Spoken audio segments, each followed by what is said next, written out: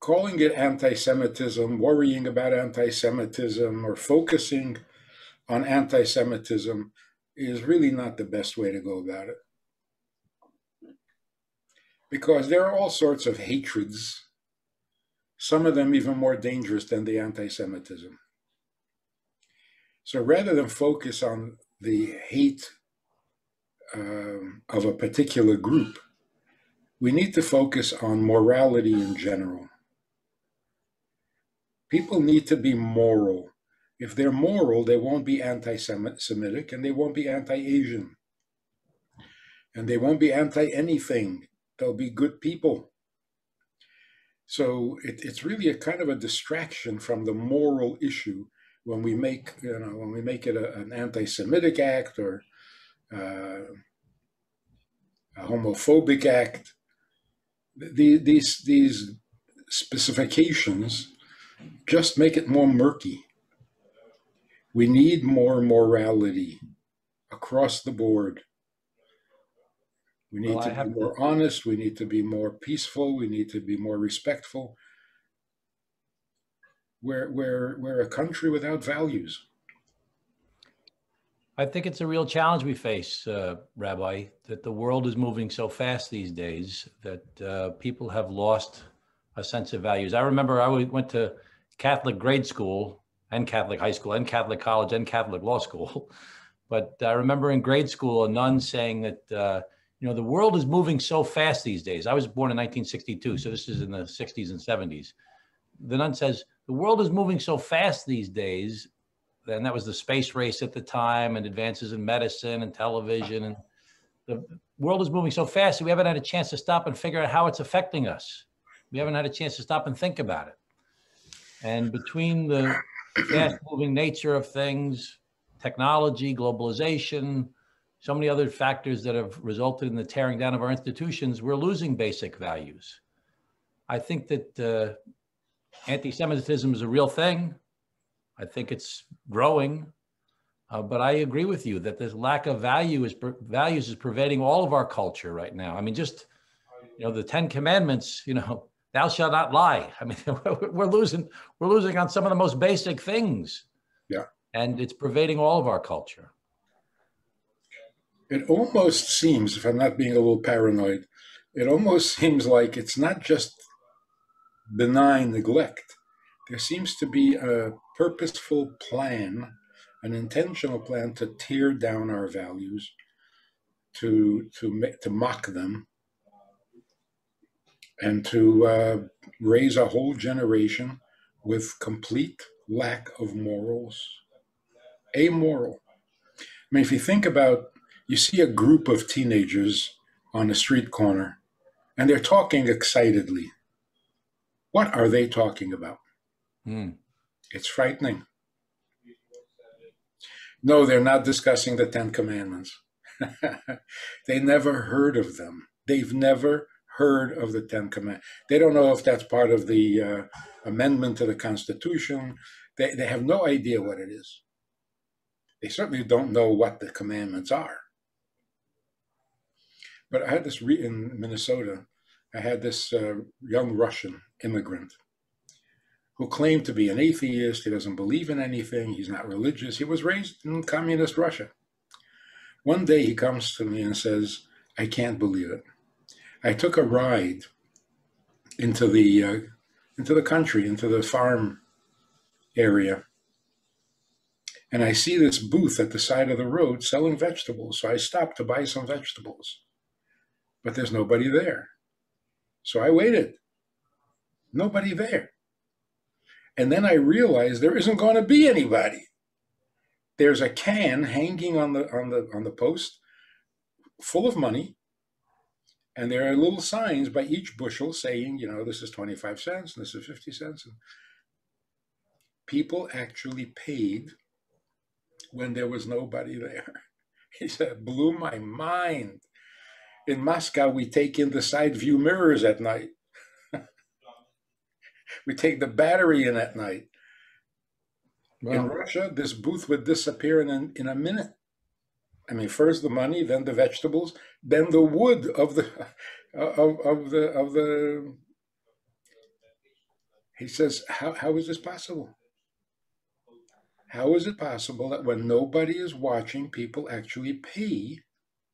Not only don't take from the from the can, they actually put money in the can.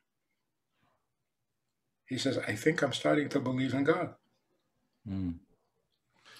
This doesn't come from the Constitution or from democracy or from politics. It comes from the Bible. And the democracy was working as long as the Bible was there to support it. Take the Bible out, democracy doesn't work.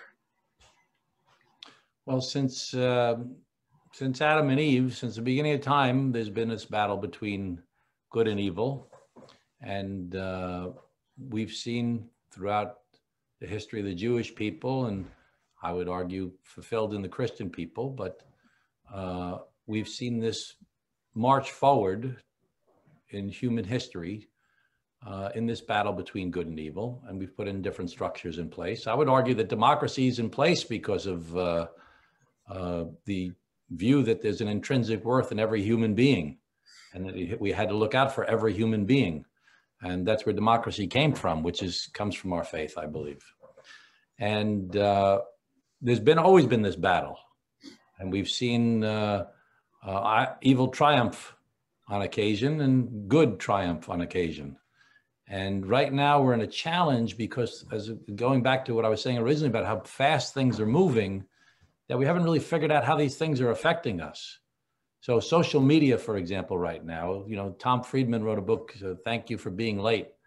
And in the book, he talked about how social media is great for the makers, the people who want to do good things and make things and spread. Look at you, you're, you know, using technology to spread your, your, your message on YouTube. So technology and, and social media, they're good for the makers, but it's also good for the breakers, the people that want to tear everything apart.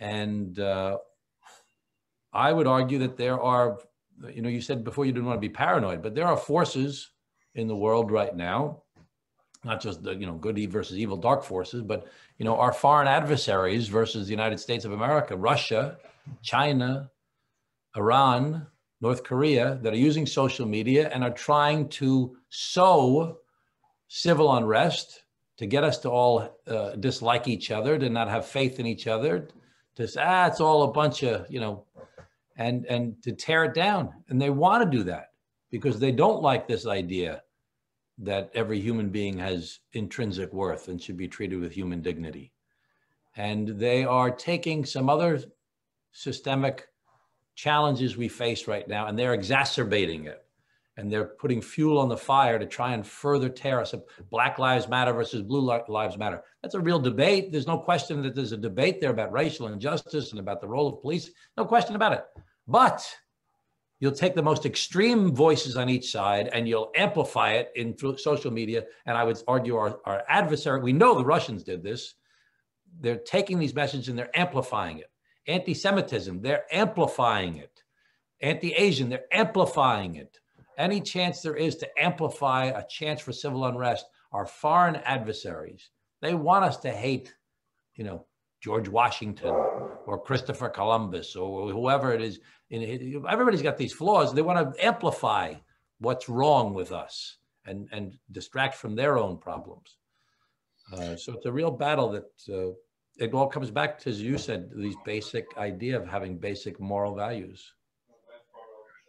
Yeah, it, it seems like they're taking liberal principles to their absurd conclusion. Hmm and they're using it against us. Oh, you're so liberal, then why do you discriminate between men and women? Mm. Why do you even have men and women? Mm. Who says you have to be a man or a woman? It, they're just mocking our whole set of, of, of principles because, again, without the Ten Commandments and without God in the picture, love your neighbor. Yeah, it's a joke. Turn the other cheek. Are you kidding? So they're, they're, they're finding the flaws in liberalism and they're, and they're turning it against us. Yeah. It's almost like they're laughing all the way to the bank. And the challenge again, we're moving, we're, we're, we're not stopping and thinking and, and talking like we're talking now to just try and think of, you know, how are we how are these things that are moving so quickly affecting us? And what can we do to slow it? I mean the pandemic in a way with all of its curses uh, was a blessing that it got us to slow down uh, spend more time with our families uh, not be rushing not spending you know all that extra time not commuting gave us a chance to stop and think a little bit. Yeah. Um, so it's you know, the fact that you and I can talk right now, I mean, this wouldn't happen were it not for uh, uh, the use of Zoom, which came out of uh, uh the pandemic. So there are blessings that have come with this as well. Um, so, practically speaking, if we want to correct the situation, we need to reintroduce God into our lives. And the most logical and the best place to do that is in grade school. So the Rebbe came up with this idea of a prayer at the beginning of the day, which always existed until somebody decided to tear it away from us. And then that became too controversial. What kind of prayer? And so the Rebbe said, How about a moment of silence? Start the day with a moment of silence, a moment to think. Like you say, we're not thinking. Mm. So get kids to think at the beginning of the day why am I at school? What's going on? What am I supposed to be doing? And of course, they're not going to know what to think, so they're going to ask their parents, which gets the parents to think. And then the teacher is sitting there for a minute quietly thinking, What am I doing here? It would change the entire atmosphere. The school spirit, everything would change. Just stop for a minute. Give it a little thought. People will come to good conclusions because people do want to be good. They love to be challenged. I keep talking about this, you know, uh, Kennedy's statement ask not what your country can do for you, I think that was the only time in all the inaugural speeches of all the presidents that the president didn't promise to do good for you, but challenged you to do good. And, mm. and it's the most popular, well remembered sentence of all. So people love being challenged, and especially young people. So we got to get them on board, not just not committing crimes, we've got to get them to champion goodness, godliness. And, and they'll do a magnificent job if we just invite them, tell them that they're important. So a moment of silence in the in the public school would really change and every school that has done this so far has glowing reports less less bullying less fighting better attention better attendance I think in Florida they, they passed it as a legal uh, requirement that the day in school has to begin with uh, with a moment of thought or a thoughtful moment. I, I, like the idea of everybody slowing down and thinking like that. And uh, I want to. I, I heard before you make that comment about Kennedy. I thought that was great, great insightful comment on your part, and it made me think of Kennedy. Also said here on earth, God's, God's work must truly be our own. And so uh, calling us again to try and uh, think of how we can make things better. I served as the, uh, as the co-chair of the National Prayer Breakfast. And uh, it was really a, a wonderful experience, but for the fact that uh, our president at the time, President Trump, didn't really get quite get the spirit of the whole thing. Uh, the theme was, you know, love your enemies. And you know, very difficult concept. And uh, there was a wonderful speaker who spoke and he talked about the idea that, you know, loving your enemies doesn't mean you have to agree with your enemies, but let's stop holding each other in contempt. Let's sit down and let's debate and we'll disagree with each other if necessary, but enough with the eye rolling and enough with the attacking and enough with, you know, tearing each other down. Uh, and I think uh, love your enemy means don't allow him to be bad. Don't don't give him license to be bad. He's your enemy, but he should be your friend. So if he's misbehaving, call him out. Expect morality from him. Because the worst thing you can do to a person is dumb it down, expect less. Yeah. So love your love your countrymen, love your country. That's all very cute. First, stop shooting me. Then we'll talk about love. I think it's a little premature. we're shooting each other, but we're trying to love each other. Now, that, that makes us crazy. We're not ready for love. But we must have morality.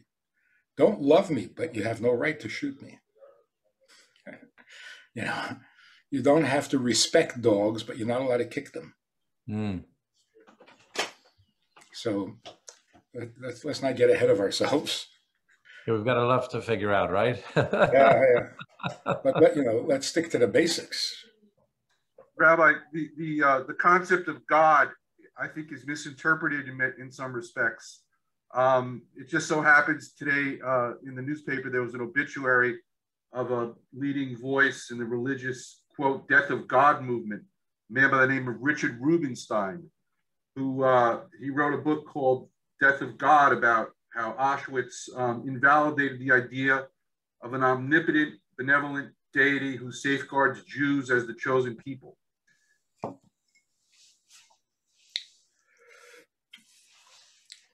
that too deep? Is that a question or a statement?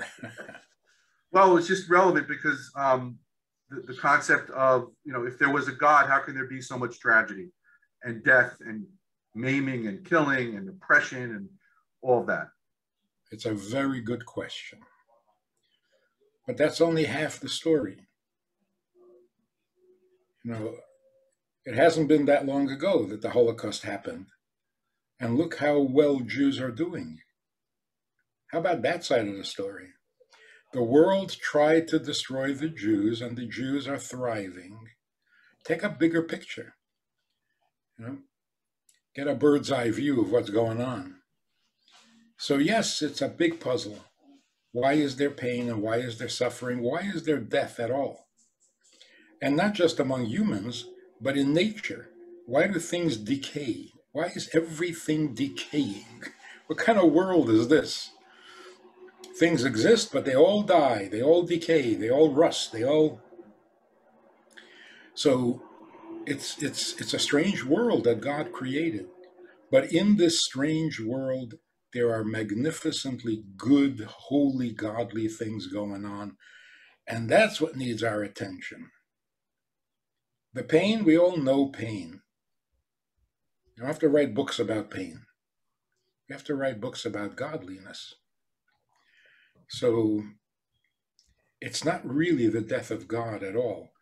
It may be the death of religion. In fact, I, I, I, don't like to call myself religious. I'm not interested in being religious. But if God created the world with a purpose and I'm here because of that purpose, well, then I want to know what that purpose is. And I don't, I don't have to call it a religion which can be very divisive. So uh, I'm not promoting religion, but morality, which comes from God, not from the religious institutions, which are basically failing. Which are basically what? Failing. All the institutions are failing. They've become too institutional. Mm. You know, you talked about uh, the Holocaust and about the the success of the Jews, the up as well. I, I, I always like to point out though that in the world there are I have I, there are 2.4 billion Christians in the world. 2.4 billion Christians. There are 1.9 billion Muslims in the world. 1.2 billion Hindus in the world. 500 million Buddhists in the world, 26 million Sikhs. There's only 15 million Jews in the world. So, and 6 million were killed during the Holocaust. So I, you know, whenever my friends say, what, what's the what are you making such a big, I, I, you can understand why they'd be a little concerned by people picking on them a little bit. I can under, I listen to your point, Rabbi, which is, you know, let's not focus on this so much. Let's, you know, let's focus on morality. Let's focus on, you know, all people, how all people are treated. Uh, but I, you know, anti-Semitism is a real thing. I mean, there's no question about it in my mind. And uh, I've, I've been thinking a lot about, uh, you know, I have a lot of Muslims in my district as well, a lot of Pakistanis. And I've been thinking about the Muslim, I've been thinking about the, the, the, the view of the Palestinians and the Israelis. And uh, I'm very, I'm very strong pro-Israel. Uh, but it's, you know, it's such a big issue of the Palestinians, the oppression of the Palestinians. I mean, you know, there's a million Uyghurs, more than a million and a half Uyghurs in, in, in Western China that are living in forced labor camps right now. And you don't hear rallies for the Uyghurs. Uh, there are Muslims being persecuted in, in all kinds of places throughout the world. Uh, and it's really not, that does not have the same emphasis of the Muslims that are discriminated against in these other countries. It's always like, it's always, you know, Israel, Israel, Israel. Uh, again, if we're not moral, we're not going to be moral. We'll find any excuse to beat up on whoever we can. You know, the, the, the most convenient victim at hand. But our job is not to protect ourselves. I mean, that's necessary, of course, but that's not our mission in life. The mission in life is to make the world a more godly place. and that's that's colorless, you know, without religious distinction. The world has to be the way God wants it to be. And if if only Jews were behaving themselves, it would make no impact. The whole world is either going to be good or it's not going to be good. So we're in this together.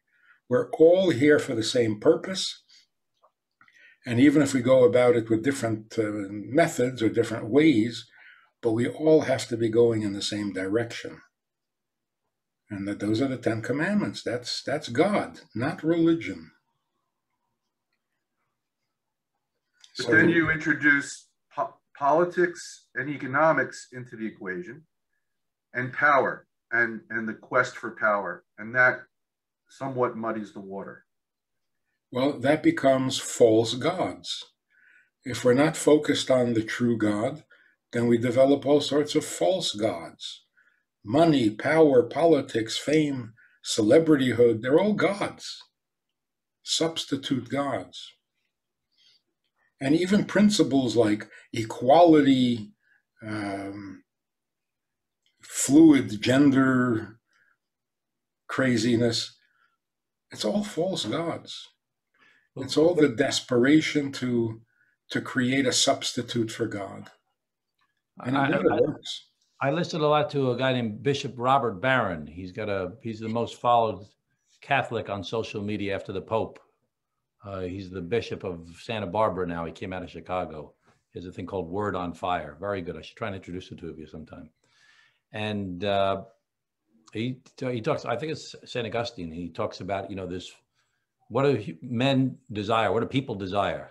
Pleasure, power, honor, and money. Those are the four false gods. The things that we seek. And it's natural. It's human desire to want those four things. But it's when we raise them up he says, We will never be satisfied with those four things. And St. Augustine would say, My heart will not rest until it rests in thee, rests in God. And uh, we have to figure out how we cannot be lured by these four false gods all the time and figure out how to keep God centered on our life. Certainly, I fail at it all the time. Uh, it's just a matter of, of, of trying to regain our focus. Well, my, my message has been the reason we can never have enough is because we don't really need it in the first place. Mm. Chinese food. you, you can't have enough because you never needed it. So a need that doesn't get satisfied is not a legitimate need. It's just pleasure for the sake of pleasure. And why would you ever say no to pleasure? But, it, but that which is a real need when you satisfy it, it is satisfied. So if we think we need these things, we're almost compelled to pursue them. I mean, I need it. No, you don't need it. You really don't need it at all. And that's much makes it much easier to turn attention away from that to what is true. To sum it up very briefly, we've convinced ourselves of how needy we are, and religion made it worse by, by enlarging the need. You're so dependent on God, you're so helpless without Him, you're so needy. He holds all the answers, all the keys. You, yeah, you got to be on his good side. Get on your knees, beg, cry, plead, apologize. It's so it's so depressing. The truth is, we're not needy. God needs because he created the world. So we have it so backwards. The creator of the universe needs nothing, but we, guests in his universe, we are needy. Come on, that's backwards. God creates a universe. Of course, he needs something. You don't do that for no reason. We, on the other hand, we had no say in the matter. So the fact that I need to eat, that's not my need. I didn't do this to myself. And many times I resent it. I don't want to be dependent on food. But nobody asked me. This is the way I was created. Dependent on food, dependent on sleep, dependent on, on security and on I didn't do this to myself. So I really shouldn't call it my need. It's God's need. If I liberate myself from this burden of needs, and it's gotten way too much, I mean, with the, you know, if you listen to the advertisements and the commercials, there's no end to what we need. And it's getting depressing.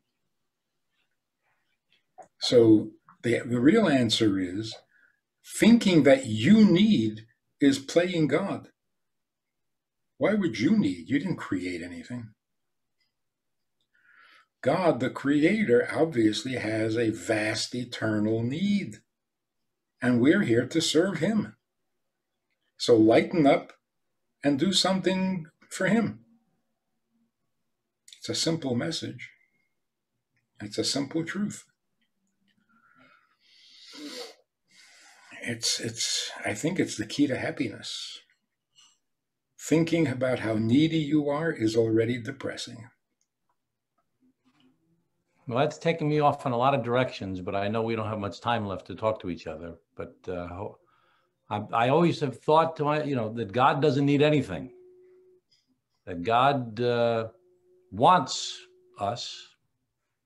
He doesn't need us. And yeah, we, that, that's the conventional wisdom. Yeah. And we always play this game of, uh, you know, God, I'll do this for you if you do this for me. You know, if I do this, will you do that for me? Which is, you know, that's for amateurs, I believe. You know, I think gratitude is a very big part of life is, you know, just yeah. thank God for what I have when I have it. Yeah. I think. But I was talking to an 11 year old boy. Yeah. And I said something, you know, you, you got to do what God needs. He says, God doesn't need, he wants. I'm sure he was taught in school. So I said to him, You mean God wants what he doesn't need? And the boy said, Oh, no, I guess not.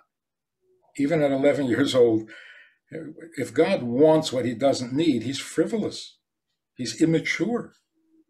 Even a human being shouldn't want what he doesn't need. and Clutter your life. So that doesn't work theologically if he wants, then he then he really wants. So it's not like I want, but if it doesn't happen, that's okay too. What, that mm-hmm. that doesn't sound like God. So if he wants, he needs, and if he needs, he wants, and and and it's so intuitively correct. You create an entire universe, you're after something. Otherwise, I don't respect you at all. No, we need we need to be proactive. We're not allowed to sit by and watch more immorality um, own the streets. We've got to get the people who have influence to use their influence. And just imagine, it was just a fantasy, like a dream. There's a riot going on. Bunch of young people are burning down the stores, burning police cars, turning things upside down, running off with merchandise. Imagine a very, very popular celebrity who they admire suddenly gets up on a car and says, Hey, people, what are you doing? What were you born to destroy?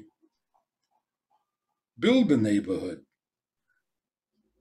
I think they'd love it.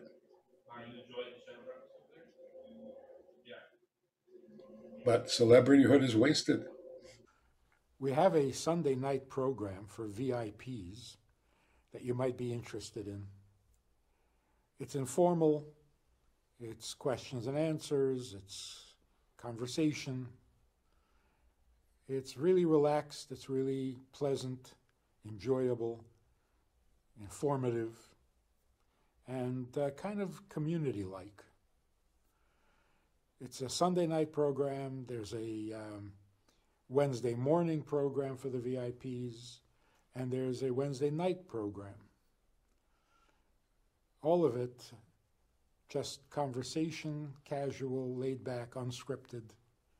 So join us, take a look, click uh, the link below, and see which, which of the three suits you best, and join us for some enjoyable conversation.